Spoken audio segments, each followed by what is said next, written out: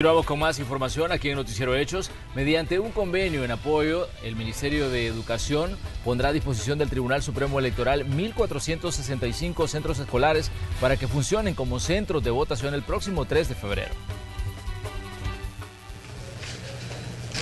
Un acuerdo que compromete al Ministerio de Educación a poner a disposición 1.465 centros escolares para el Tribunal Supremo Electoral, los cuales servirán de centros de votación el próximo 3 de febrero y para una posible segunda vuelta el 10 de marzo. Además, algunos de estos ya están siendo utilizados como centros de capacitación.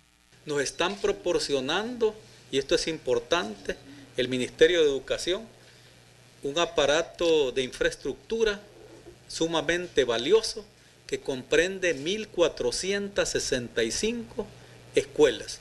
Dentro de las instalaciones de nuestros centros educativos se desarrolla el grueso de las elecciones.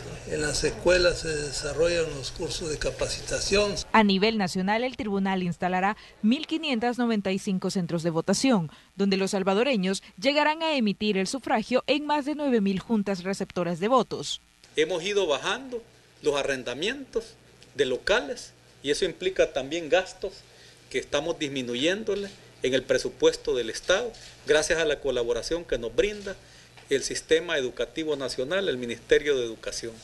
Este convenio quedará sin efecto al momento en el que el Tribunal Supremo Electoral entregue el último centro educativo y una vez se hayan declarado en firme los resultados de las próximas elecciones.